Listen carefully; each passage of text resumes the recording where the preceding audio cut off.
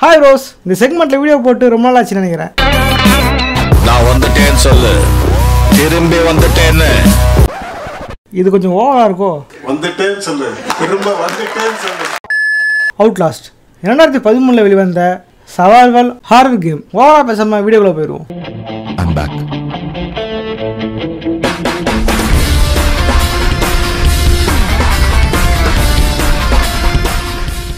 Miles அப்ஷோர் ஒரு investigation journalist ஒரு நாள் அவருக்கு ஒரு மெயில் வருது. பிரச்சனையை தெரிஞ்சுக்கிட்டு இன்வெஸ்டிகேஷன் பண்ணுறதுக்காக மிக கொடூரமான மனநோயாளிகளை அடிச்சு வைக்கிற மேசி மவுண்ட் அஸ்லமுக்கு போகிறாரு தன்னோட காரை வெளியே நிறுத்திட்டு கையில் ஒரு வீடியோ கேமரா எடுத்துக்கிட்டு அஸ்லமை நோக்கி போகிறாரு அசலமோட கதவு அடைக்கப்பட்டிருக்கு. வெளியே செக்யூரிட்டி ஜீப்ஸ் நின்றுக்கிட்டு இருக்கு. அஸ்லம் கூட உடையறதுக்கான வழியை மைல்ஸ் அப்ஷோர் தேட ஆரம்பிக்கிறாரு. அப்போ உயரத்தில் ஜன்னல் கதவு திறந்துருக்கிறத கவனிக்கிறாரு. அதில் ஏறி அஸ்லமுக்குள்ள நுழைஞ்சிடுறாரு. உள்ள யாருமே இல்லாதனால லைப்ரரி ரூம்குள்ள நுழையிறாரு. அங்க திடீர்னு சாகர நிலையில ஒரு சோல்ஜரை பார்க்குறாரு அவன் அவர்கிட்ட இங்கிருந்து தப்பிச்சு போயிரு. அவன் இங்க வந்துருவான். செக்யூரிட்டி சிஸ்டம் ஆன் பண்ணு. அப்பதான் அவன் தப்பிக்க முடியும். அப்படின்னு சொல்லிட்டு செத்துடுறாரு. அந்த லைப்ரரியில அந்த சோல்ஜர் கூட நிறைய பிணங்களும் புத்தகங்களுக்கு பதிலாக மனிதரோட தலையை வெட்டி வைக்கப்பட்டிருந்தது. மேஸ் அப்சூர் அங்கிருந்து வெளியே வராரு. அங்கிருந்து தப்பிக்கும் போது திடீர்னு பெரிய உருவம் கொண்ட ஒருத்தன் அவரை அப்படியே பிடிச்சி தூக்கி வீசுறான். அவர் முதல் மாலேருந்து கீழே விழுந்து மயக்கம் அடைகிறாரு அவர் அரை மயக்கத்தில் கண்ணை திறக்கும் போது அங்கே ஒரு விசு சத்தம் கேட்குது அவர் கண்ணை திறந்து பார்க்குறாரு அங்கே ஒரு பாதிரியார் அவனை பார்த்து உன்னை கடவுள் தான் அமைச்சிருக்கணும் அப்படின்னு சொல்லி ரிப்போர்ட்டரோட கேமராவை எடுத்து பார்க்குறாரு மகேஷ் அப்ஷர் கண்ணை மூடி கண்ணை திறக்கிறதுக்குள்ள அந்த பாதிரியார் அங்கேருந்து காணாமல் போயிடுறாரு. அங்கேருந்து வழியை கண்டுபிடிச்சி மகேஷ் அப்ஷர் செக்யூரிட்டி சிஸ்டமை ஆன் பண்ணுறாரு பக்கத்தில் இருக்கிற ஸ்க்ரீனில் பவர் ரூமுக்கான சிசிடிவி ஃபுட்டேஜ் தெரியுது.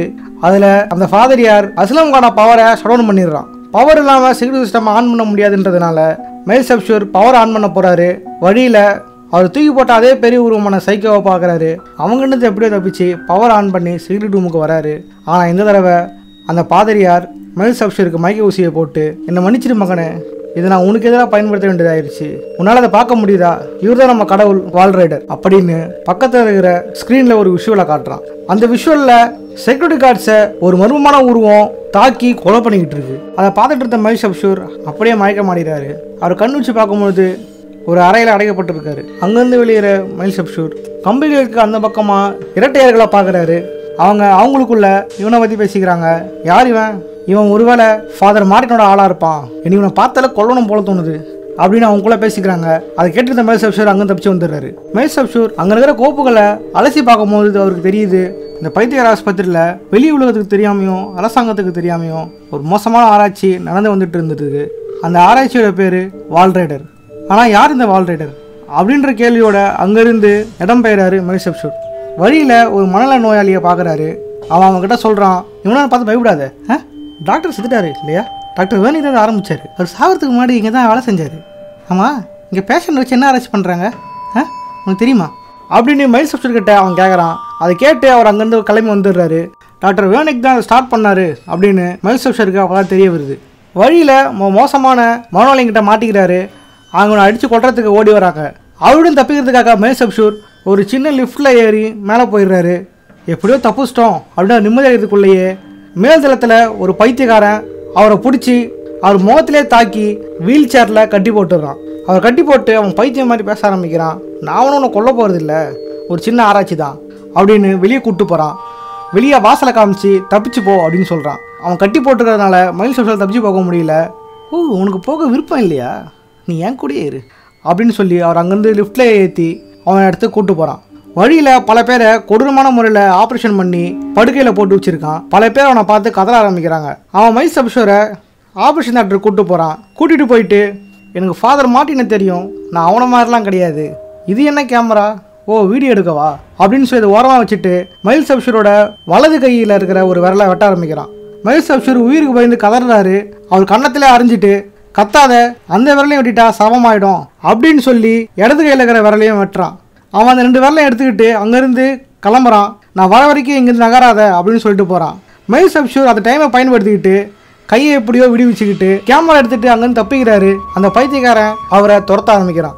அவங்கள தப்பிச்சு லிஃப்ட்டில் ஏறி கிரவுண்ட் ஃப்ளோருக்கு போகிறாரு ஆனால் இடைப்பட்ட ஃப்ளோரில் அந்த பைத்தியக்கார கதை உடச்சி உடைய நினைக்கிறான். மைஸ் சப்ஷூரோட வெளியே தள்ளுவீடு பார்க்குறாரு லிஃப்ட்டு நகர்ந்துக்கிட்டே தான் இருக்குது அவன் தள்ளி விட்டாலும் அந்த பைத்தியக்காரன் உள்ளே வந்து அவரை கொலை பண்ண பார்க்குறான் லிஃப்ட்டுக்கு நடுவில் மாட்டிக்கிட்டு அந்த பைத்தியக்காரன் அப்படியே செத்து போயிடுறான். அங்கேருந்து தப்பிக்கிற மைல்ஸ் அப்ஷூருக்கு கண்ணாடிக்கு அந்த பக்கம் ஒரு டார்ச் லைட்டோட ஒளி தெரியுது. அது ஃபாதர் மார்ட்டின்றதை தெரிஞ்சுக்கிட்டு அதுக்கிட்ட போகிறாரு என்ன நீ அந்த பக்கம் வந்து பாரு அப்படின்னு சொல்லிட்டு ஃபாதர் மார்ட்டின் அங்கே தப்பிச்சு ஓடி போயிடுறாரு. அந்த பக்கம் போகிறதுக்கான வழியை தேடுறாரு. பார்க்கில் மழை பெஞ்சிக்கிட்டு இருக்கு. அங்கதான் முதல் முறையாக அந்த வினோத உருவம் பறந்து போகிறத பார்க்குறாரு. அங்கேருந்து கிளம்புற மெல்சப்ஷூர் மாடியில் டார்ச் லைட்டோட அந்த ஃபாதர் இருக்கிறத பார்க்குறாரு. அந்த ஃபாதர் அவரை பார்த்து சொல்கிறான் நீ அவரை பார்த்தியா? அவதான் நம்ம கடவுள். ஒரு புது புரட்சி இப்போ நம்ம கையில் இருக்குது அப்படின்னு பேசிக்கிட்டு அவங்க அங்கேருந்து ஓடிடுறான். ஆரம்பத்தில் இருந்தே மேல் சப்ஷூருக்கு ஃபாதரை நம்பலாமா? அப்படின்ற எண்ணம் இருந்துகிட்டே இருக்கு. இருந்தாலும் மேல் சப்ஷூர் வேற வழி இல்லாம அவனை ஃபாலோ பண்ணிட்டு தான் இருக்காரு. மேல் சப்ஷூர் மேலே ஏறும்போது அந்த தரை உடஞ்சி கீழே விழுது. அதுல கேமராவை அவர் தவறு விட்டுறாரு. அவர் மறுபடியும் கேமரா தேடி கண்டுபிடிக்கும் போது கேமராவோட லென்ஸ் கொஞ்சம் உடஞ்சி இருக்கு வேற வழி இல்லாம அதை எடுத்துக்கிட்டு அங்கிருந்து கிளம்புறாரு. வழியில ஒரு தேட்டர் இருக்கிறத பாக்குறாரு. அங்க இருந்தவங்கள இறந்து போயிருந்தாங்க.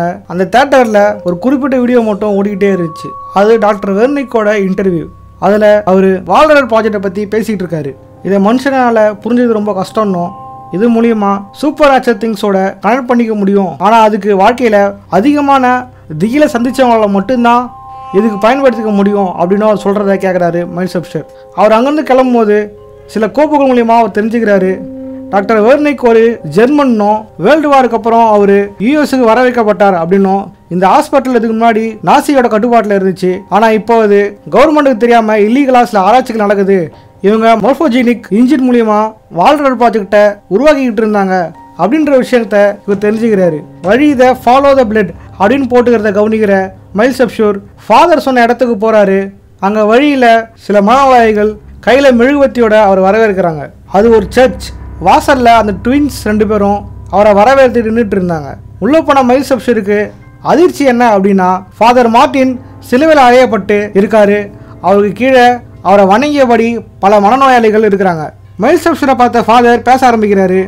நான் என்னோடய வேலையை முடிச்சிட்டேன். இதுதான் கடவுளருக்கான ஒரே வழி. இதுக்கு நீ தான் ஆதாரமாக இருக்கணும். அவர் சொல்லி முடிச்சதும் கையில் மெழுகுவத்தியோட இருந்த ஒரு மனநோயாளி அந்த சிலுவைக்கு தீ வைக்கிறான். ஃபாதர் மார்ட்டின் அங்கேயே உயிரோட எரிஞ்சு இறந்து போயிடுறாரு. ஃபாதர் மார்ட்டின் கொடுத்த சாவியை வச்சு அண்டர் கிரவுண்டுக்கு போகிறாரு மைல் சப்ஷூர் ஆனால் அங்கேயும் ஆரம்பத்தில் அவரை தூக்கி போட்ட அந்த பெரிய உருவம் கொண்ட பைத்தியக்காரன் அவரை துரத்த ஆரம்பிக்கிறான். உன்னால் இங்கே தப்பிக்க முடியாது. நீ பண்ணிய மாதிரி சாக போறடா அப்படின்னு சொல்லி அவர் தள்ளி விடுறான். ஆனால் அந்த நேரத்தில் அந்த வால் ரைடர் அந்த பெரிய உருவம் கொண்ட பைத்தியக்காரனை தாக்க ஆரம்பிக்குது.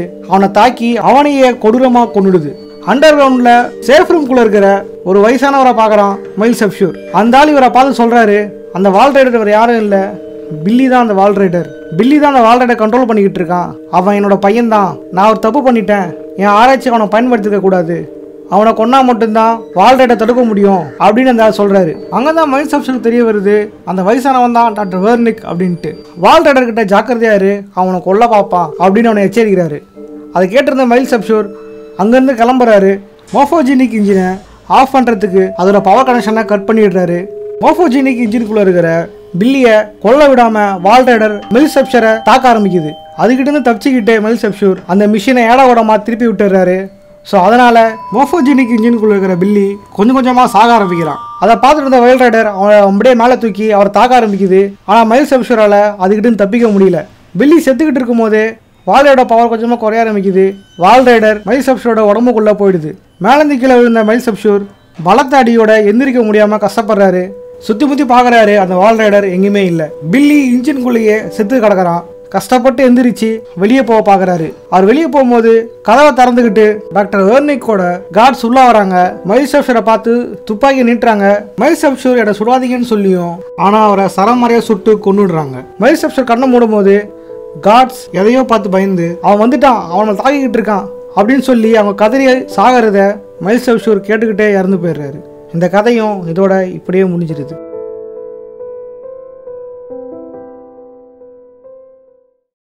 இது அவுட்லாஸ் ஒன்றுக்கான கதை மட்டும்தான். இன்னும் அதோட டிஎல்சியான அவுட்லாஸ் விசில் ப்ளோவர் இருக்குது ஸோ அதில் தான் இதுக்கான மிச்ச கதை இருக்குது நான் இந்த வீடியோவில் கேமுக்கான கதையை சுருக்கமாக சொல்லியிருக்கேன். இந்த கேமை நீங்கள் விளாண்டா மட்டும்தான் இதோட முழு எக்ஸ்பீரியன்ஸ் உங்களுக்கு கிடைக்கும். இந்த கேமை ரெக்கமெண்ட் பண்ண எஸ் அஃபி அவருக்கும் சிவகுமாருக்கும் டிஜி சிவா அவருக்கும் ரொம்ப நன்றி. இவங்க எல்லாருமே அவுட்லாஸ் டூ தான் கேட்டிருந்தாங்க. ஆனால் அவுட்லாஸ் ஒன்று முடிஞ்சதுக்கப்புறம் தான் அவுட்லாஸ் டூ பார்க்க முடியும். ஸோ அவுட்லாஸ் டூவை இனி வரும் எபிசோடுகளில் பார்க்கலாம். இந்த வீடியோ பிடிச்சதா லைக் பண்ணுங்கள் இந்த செக்மெண்ட் ரொம்ப பிடிச்சிருந்ததுன்னா முடிஞ்சளவுக்கு உங்கள் ஃப்ரெண்ட்ஸுக்கு ஷேர் பண்ணுங்கள் அப்போ தான் வந்து இந்த வீடியோக்கான வியூஸ் கிடைக்கும். இந்த வீடியோ பண்ணுறதுக்கு கிட்டத்தட்ட ஒரு வாரம் கிட்ட ஆகிடுது ஸோ அதுக்கேற்ற வியூஸ் வராதனால தான் இந்த வீடியோ போடுறதுக்கே அவ்வளோ நாள் ஆச்சு.